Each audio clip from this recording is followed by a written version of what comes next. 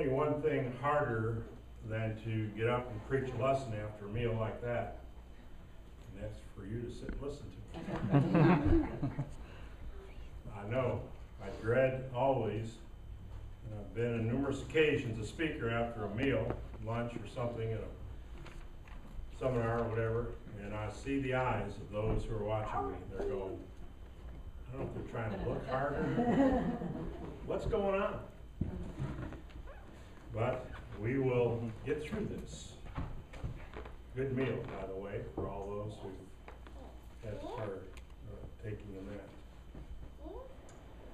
There are two words that pique my interest, and I pray that they do yours. And these two words are something that we don't hear a lot of if you watch any kind of news or listen to the news or perhaps even read the newspaper. We just don't seem to get enough of it. And that's good news. Everything we hear about is usually not of that nature. It's not good news. And so, what I want to do over the next few weeks, perhaps, is peruse the book of Mark and look at some good news. Because I'll guarantee you, the more, the more you read the newspaper, and of course, all of us, some of us perhaps, uh, whether we watch the news or not, but you know, there's world news, there's local news, there's the market news, there's political news, there's weather, there's sports. I mean, it's just on and on. Um, so you might be able to really tell what the bad news is, but I want you to go away from here today knowing the good news. And of course, that's the news about Jesus Christ. This man received a call from his doctor. The doctor said about this medical test I did on you, I have some good news and some bad news. Well, the man said, Well, what's the good news? The good news is that you have 24 hours to live. What's the bad news? I meant to call you yesterday. Sometimes it might catch up with us. Mark chapter 1, if you have your Bibles, and I pray that you do, that you'd open up to this glorious gospel of Mark. Mark paints a beautiful portrait of Jesus Christ as not a king as Matthew would do, and Luke paints him as perhaps a, uh, well, I was trying to think of the word and I completely forgot it, but as you read the Gospels, each Gospel writer portrays Jesus as something different, different audience. Mark portrays Christ as a servant. And when you read the first verse of Mark chapter 1, the beginning of the gospel of Jesus Christ, the Son of God. Now, we talked a little bit about the gospel this morning, being the death, the burial, and the resurrection of Christ, as we read about in 1 Corinthians 15 and other places that Paul would preach nothing more than Jesus Christ and Him crucified. But this word gospel means something quite different. This word means good news. The good news of Jesus Christ, the Son of God. Well, if it's good news, then what can we learn about it? What does Jesus do that brings across such good news to the people that he encountered? Jesus, according to Mark, and as we well know, as I already mentioned, was a servant. And Jesus, the Son of God, responded to the Father's will. And he did so by teaching and by healing. And of course, there's other ways that he did that, but those two are rather prominent as you read through the Gospels. The first thing I want us to look at is found in Mark chapter 4. Mark chapter 4. And this story, as many of them are going to be, are very familiar to us. In Mark chapter 4, I believe, beginning at verse 35, we read this. On the same day when evening had come, he said to them, Let us cross over to the other side. Now, when they had left the multitude, they took him along in the boat as he was, and other little boats also were with him. And a great windstorm arose, and the waves beat into that boat so that it was already filling. But he was in the stern, asleep on a pillow. And they awoke him and said to him, Teacher, do you not care that we're perishing? Then he arose, and he rebuked the wind and said to the sea, Peace, be still. And the wind ceased, and there was great calm. And but he said to them, Why are you so fear- fearful? Why is it that you have no faith? And they feared exceedingly and said to one another, Who can this be that even the wind and the waves, the sea, obey him? You look at this first picture of Christ.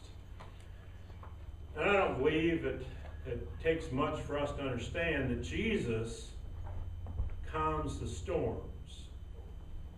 Literally, here in this scripture, but even more so in our own lives. He calms the storms in our lives. It was evening. Jesus decided to go to the other side of the sea. This great storm came up while the disciples were there. The waves beat into that boat. The boat was about ready to sink. You ever feel like that? Have you ever been to the point where you felt your boat was about ready to sink because of the storms and the waves that have beat on you all day long or all week long? What would you do if you were in the boat? Jesus is sleeping. I could never do that. Or one, I couldn't be out in the sea, let alone. We were talking about fishing a little earlier. That's one place I don't need to go, or I'd be done for a month. Nice calm little pond or lake would be fine. I would want to get ashore about as fast as I could, or I'd be scooping that water out perhaps faster than it was coming in, praying, panicking, crying, worrying. That's what they were doing, but Jesus was sleeping. Why was he sleeping? Why do you sleep? Because you're tired. He had a long day. They awoke him and they asked that question Do you not care? Don't you care that we're perishing? An amazing thing happened according to verse 39. He arose and instead of rebuking the disciples immediately, he rebukes the wind and it stops. Peace be still. What can we do when a storm hits us? Nothing? Watch. We have a lot of storm watches lately that we've probably seen or heard on our phones. Pray. When you see the response from the disciples, it's rather amazing. Who is this man that even the winds and the waves obey him? I'd say it can be nothing more or less than the Creator Himself, Jesus. So, the good news is, from this perspective, if Jesus can calm the storms and their fears, then why would He not be able to calm ours in our time? You know, we can stay glued to a TV weather station trying to find out what's coming our way. And that, that would be probably a good idea if they know what they're talking about. But when the storms of life hit us, who do we go to? Who do we talk with? How do we deal with the situation? If Jesus is the only one that can truly calm the storms of life, then we ought to be looking to Him for help. Because he's the only one that can calm my fears and take care of that situation. And I was told a long time ago, and I was reminded not too long ago, that no matter what happens in life, there's one constant Jesus is Lord, and He always will be. No matter what's going on, He's Lord. So give it to Him. Give Him that storm, and let Him say to you, Peace, be still. As we go on in chapter 5 of Mark, there's a couple different things going on here. The first 20 verses talk about the demon, the man who's possessed. They come to the other side of the sea and get out of the boat and they meet a man on the shore. This man had come from the tombs where he'd been living. And as you keep reading through those first 20 verses, you find this man had not only one unclean spirit, who Jesus dealt with from time to time, but this man had many. His name was Legion. As you read down a little further, you see that he had enough unclean spirits in him to fill a herd of swine, 2,000 in number. That's a lot. That's a lot of unclean spirits. No one could help him. No one could control him. And he was miserable. He was totally miserable. And I wonder at times, you know, when I when I talk with people and I try to empathize and try to find out what's going on, how would you feel if there was truly no one who could help you? And up to this point of this man's life, there was no one. No one. And when Jesus enters the picture, what does he do? The man runs up to him and he worships him. That amazes me. Why this unclean man of 2,000 unclean spirits would run up to Jesus and worship him, and his words are, Please don't torment me. Good Lord, he'd been tormented enough all his life. Did he really think that Jesus would do that? That he would torment him? Verse 5 of that chapter says, Always day and night he was in the mountains and in the tombs crying and, and cutting himself. He ran to Jesus and worshiped him. Now you look at this situation and you say, if Jesus can rescue this man from his misery, and I surely can't come close to having that many unclean spirits in me, I don't think. What can he not do for others? What can he not do for you? He rescued this man when no one else could. And he can do the same for you. When you and I come to the point where we are that miserable,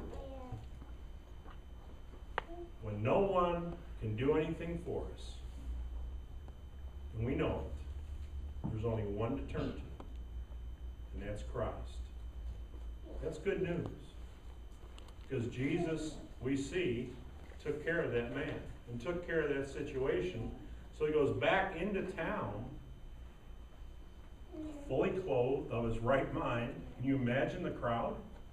Kind of like the woman at the well when he when he transformed her life. There's another one that we could look at. She goes back into the town. And they all come out because of what Jesus Christ had done for her. Also, as we continue into that chapter, verses 24 through 34 of chapter 5, there's a couple different scenarios here.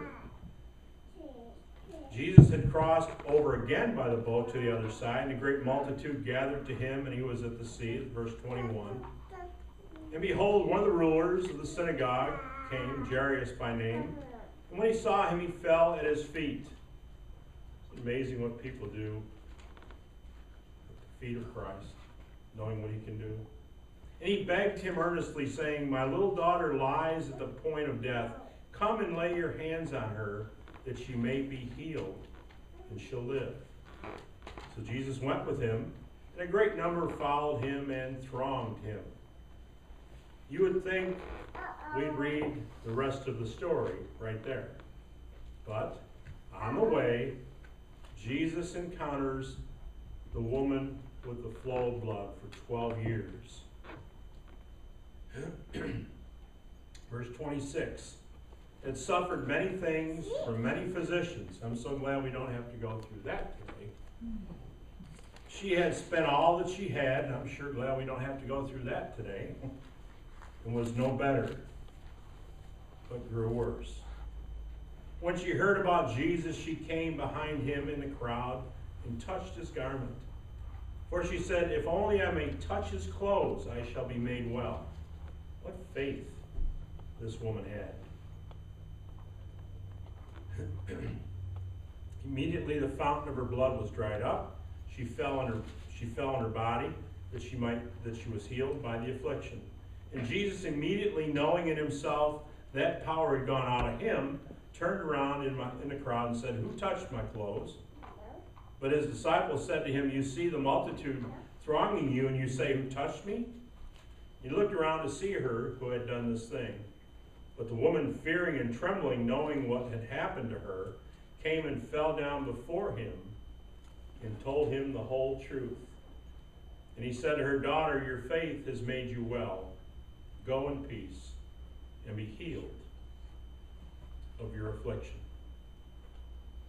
This woman had suffered at the hands of many doctors. She had basically ruled out any more resources that she had to take care of this problem. She spent all that she had, but the situation grew worse. You know, as we look at all the diseases that are out there before us, and there are quite a few of them that are not where there's no cure for them, we see how desperate people are. We also see, unfortunately, many others who take advantage of those people who are desperate. But when Jesus came, she wouldn't even speak to him, but believed in him. And she believed in him so much that she thought, if only I just touch his clothes. And what happened after that, again, was amazing. Immediately, her affliction is gone. See, if Jesus can rescue this woman from her desperation, why would we not think that he cannot rescue ours, rescue us from ours? When we're that desperate that we have nowhere else to go, and we've used up every resource possible, we probably wasted a lot of time and a lot of money. And Jesus was the one that we should have gone to in the first place. He can help. What about Jairus' daughter? What happened? Verses 21 through 24, of course, tell us the beginning of the story. As Paul Harvey would say, let's look at the rest of the story. Verse 35. And while he was still speaking, some came from the ruler of the synagogue, Jairus' house, who said, Your daughter's dead. Why trouble the teacher anymore? It's over. She's gone. As soon as Jesus heard the word that was spoken, he said to the ruler of the synagogue, Don't be afraid. Just believe. And he permitted no one to follow him except Peter, James, and John. There's the inner circle, the brother of James. Then he came to the house of the ruler of the synagogue and saw a tumult and those who wept and wailed loudly. Did you ever hear anybody wail? Truly wail. I've only heard that once, and I pray I never have to hear it again. A woman that lost her husband years and years ago who thought that he was going to live. And when the doctors finally told her what, what was going on, I never heard such a wailing in my life. it goes right through you. So imagine that type. It's not just a whimpering or a weeping, it's a wailing. When he came in, he said to them, Why make this commotion and weep? The child's not dead, but just sleeping. And they ridiculed him. But when he had put them all outside, he took the father and the mother of the child and those who were with him and entered where the child was lying. And he took the child by the hand and said to her, Talitha, or Talitha Kumai, which is translated, Little girl, I say to you, arise. Immediately, the girl rose and walked, for she was twelve years of age, and they were, and they were overcome with great amazement. But he commanded them strictly that no one should know it. And he said that something should be given for her to eat.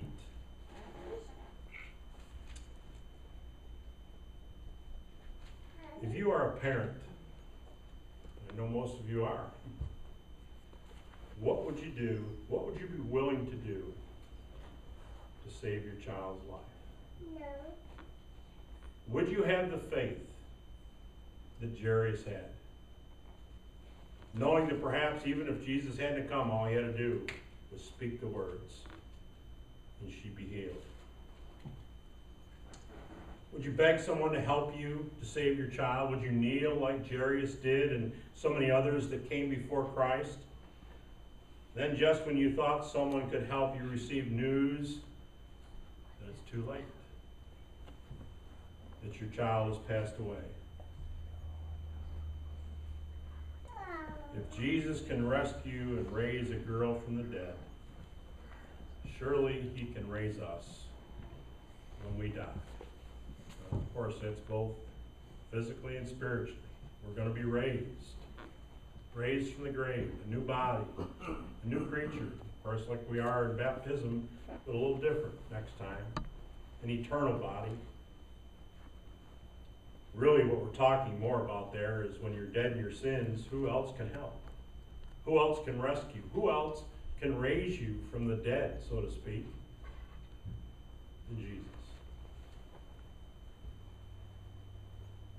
Can you imagine being thronged by the crowds because of what you can do? I don't know if more people came to Christ because of that reason.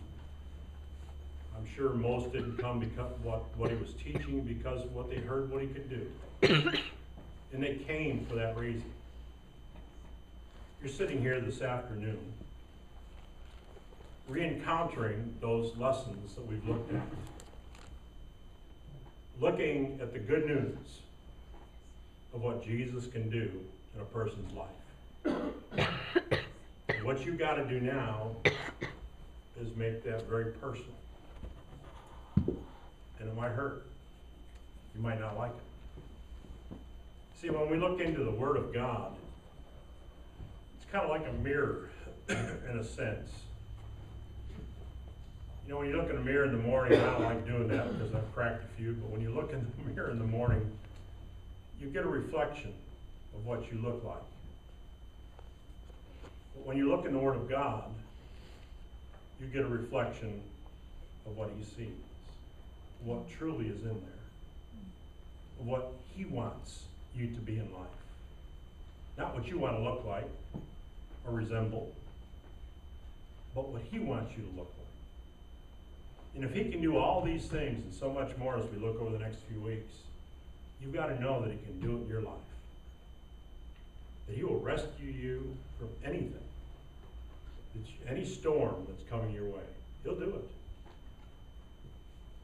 But you've got to go to him to find that peace. If he can raise Jairus' daughter, and of course, he's not the only one, she's not the only one, Lazarus was another one that he raised. You see, Jairus' daughter, I'm sure, as well as Lazarus and any others that he raised, all had one thing in common. They all died. Sooner or later, they all died. There's only one who has the power to overcome death, and that's Christ. as we learned this morning in our lesson. So what can we do for you? What can the Lord do for you? What can your brothers and sisters today do for you? If you've never given your life to Christ, if you've never been washed in the watery grave of baptism, to have your sins washed away, you can do that. Jesus will rescue you from that. If there are sins in your life that you need to take care of this morning or this afternoon, Jesus can rescue you from that. If you need to rededicate your life to the cause of Christ, perhaps one time being very an intricate part of this particular congregation locally, and you find yourself kind of floundering and not going in that way you should. What a great time to rededicate and get busy for the Lord. If we can help you at all, we really look for that privilege as we stand and sing our song.